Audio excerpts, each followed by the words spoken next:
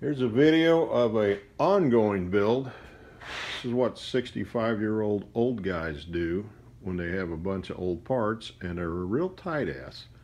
They build trackers. Actually, this is a sidekick. Out of stuff they have or from other jobs, but don't want to spend a lot of money. So we've got uh, a samurai axle in the front of this tracker sidekick because I had it. Put a Lock-Right locker in it off Amazon, $184. Set of Bilsteins that came from a Jeep. The rear coil springs I put up front. Cut the coil pockets off of the uh, original front end, welded them to the frame, welded some to the axle. Uh, the links are, it's three linked and they're the bars like you see on the back of a sidekick or tracker. Uh, put energy bushings in them because they were toast. Drop pitman arm. Set a motivator 3950 16s. Got a deal on.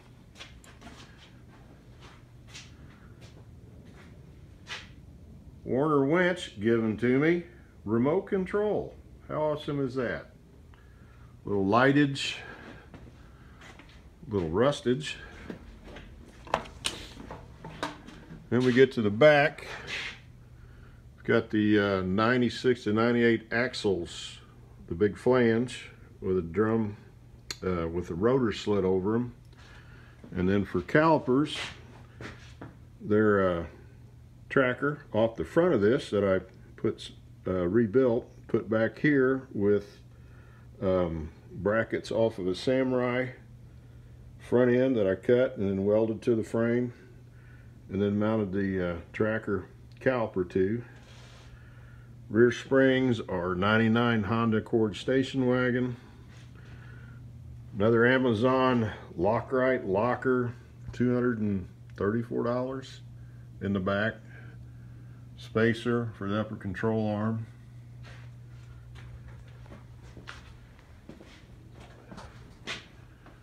Pretty much stock.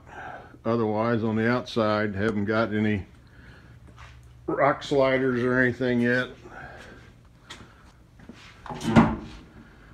Notice there's no uh, gas tank under there because it fell off.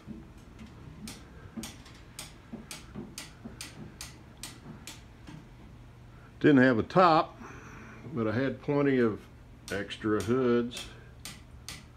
So we've got a tracker hood on the back. Works out pretty good. And an old window from an old top Jeep donated.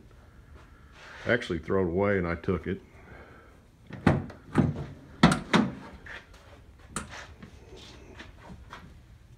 Got a boat tank back here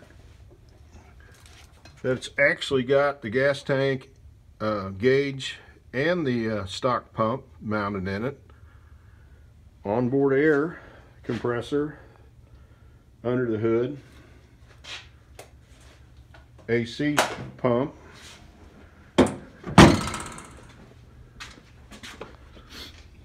Oh yeah, an old bumper laid out there for 15 years off of a truck. Homemade hook. Modified tire rack to hold the spare tire because the hood sticks out a little bit.